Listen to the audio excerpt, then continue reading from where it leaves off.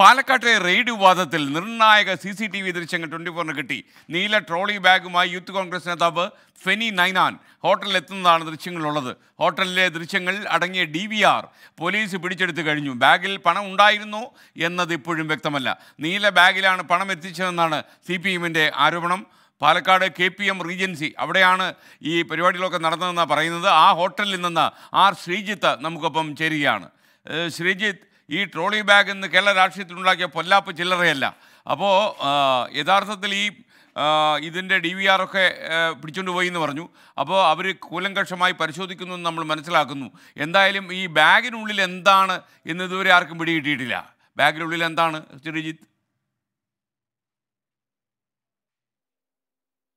S K N ബാഗിനുള്ളിൽ എന്താണ് എന്ന കാര്യം ഇപ്പോഴും അജ്ഞാതമായി തുടരുകയാണ്. എന്നാൽ ഇന്നലെ രാത്രി പതിനൊന്ന് നാൽപ്പത്തഞ്ച് മുതൽ ഇന്ന് പുലർച്ചെ വരെ നീണ്ട ഈ പരിശോധന സംഭവ പരമ്പരകളിൽ ഏറ്റവും പ്രധാനമായും ഉയർന്നു വന്ന ഒരു കാര്യം ഒരു നീല ട്രോളി ബാഗിന്റെ കാര്യമായിരുന്നു. ഒപ്പം തന്നെ ഈ ട്രോളി ബാഗുമായി വന്ന രാഹുൽ മാങ്കൂട്ടത്തിന്റെയും ഷാബി പറമ്പിന്റെയും ഒക്കെ അടുത്ത അനുയായിയായ ഫെനി നൈനാൻ എന്ന പേരും ഉയർന്നു വന്നിരുന്നു.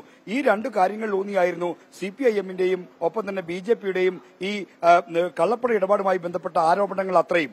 ഇവിടേക്ക് പണം വന്നിരുന്നു. അതൊരു നീല ട്രോളി ബാഗിലാണ് അത് കൊണ്ടുവന്നതും പുറത്തേക്ക് കൊണ്ട് കടത്തിയതുമെല്ലാം തന്നെ ഇവിടെ ഉണ്ടായിരുന്ന ഫെനി നൈനാനാണ് എന്നാണ് പറ ഇപ്പോഴും നമുക്കറിയാം എസ് കെ ദൃശ്യങ്ങൾ കാണാം. പോലീസ് ഉദ്യോഗസ്ഥർ ഇവിടെ ഇപ്പോഴും ഈ ഈ- ഹോട്ടൽ സമുച്ചയത്തിലുണ്ട്. അവർ ഇവിടെ പരിശോധനയ്ക്കും മറ്റും നടത്തുകയാണ്. കുറച്ചു മുമ്പാണ് ഡി വി ആർ ഇവിടെ നിന്ന് പിടിച്ചെടുത്തത്. ആ ദൃശ്യങ്ങളെല്ലാം പരിശോധിക്കും. ആ പരിശോധിച്ച് വ്യക്തത വരുത്തുമെന്നാണ് അന്വേഷണ ഉദ്യോഗസ്ഥനായ ഇൻസ്പെക്ടർ ആദം ഖാൻ അല്പം മുമ്പ് പറഞ്ഞിരിക്കുന്നത്. അത്തരം കാര്യങ്ങൾ പോലീസ് ഇപ്പോഴും കൂടുതലായി ഇവിടെ പരിശോധിക്കുന്നുണ്ട്. എന്തായാലും ഈ നീല ട്രോളി ബാഗ് ഉണ്ട്. അതൊരു മിഥ്യയല്ല ഒരു യാഥാർത്ഥ്യമാണ് എന്ന് വെളിപ്പെട്ടു എന്നതാണ് ഇപ്പോൾ പുറത്തു വന്ന ഈ സി ദൃശ്യങ്ങളുടെ ആകത്തുക. അതായത് നേരത്തെ പറഞ്ഞു കേട്ട ആരോപണങ്ങൾ പ- ആരോപണങ്ങളുടെ പുകമറയിൽ നിന്ന് ഈ നീല ട്രോളി ബാഗ് ഒരു യഥാർത്ഥ വസ്തുതയാണ്. അങ്ങനെ ഒരു ബാഗ് ഉണ്ട് ആ ബാഗുമായി വന്നത് ഫെനി നൈനാനാണ്. എന്ന കാര്യങ്ങൾ പത്ത് പത്തൊൻപത് മുതൽ പതിനൊന്ന് മുപ്പത് വരെയുള്ള ഈ ദൃശ്യങ്ങൾ കൃത്യമായി സി ദൃശ്യങ്ങൾ നോക്കിയാൽ അത് കൃത്യമായി നമുക്ക് മനസ്സിലാക്കാൻ കഴിയും. അങ്ങനെ ഈ ഹോട്ടലിലെ വിവിധ തലങ്ങളിലുള്ള സി സി ടി ദൃശ്യങ്ങൾ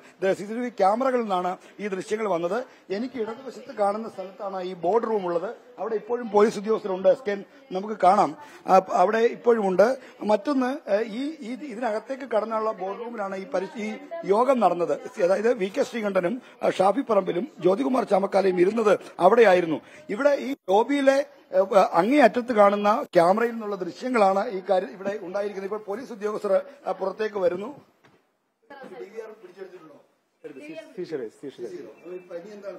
പരിശോധിച്ച് പറയാം. പരിശോധിച്ച് പറയാം. ഈ എഫ്ഐആർ ഇട്ടോ കേസിൽ? ഓൾറെഡി ഉള്ളതാണ് ഓൾറെഡി ചാർജ് സീസ് ചെയ്തിട്ടുണ്ട് സീസ് ചെയ്തിട്ടുണ്ട്. സീസ് ചെയ്തിട്ടുണ്ട്. മണി മണി ഇതാണോ? അല്ല സീസ് ചെയ്തിട്ടുണ്ട് ബാക്കി പരിശോധിച്ചിട്ട് സീസ് ചെയ്തിട്ടുണ്ട് സുഹൃത്ത് ഞാൻ പറയാം. കേസ് രജിസ്റ്റർ ചെയ്ത് കഴിഞ്ഞോ? ഓൾറെഡി ഇട്ടെന്ന് പറഞ്ഞു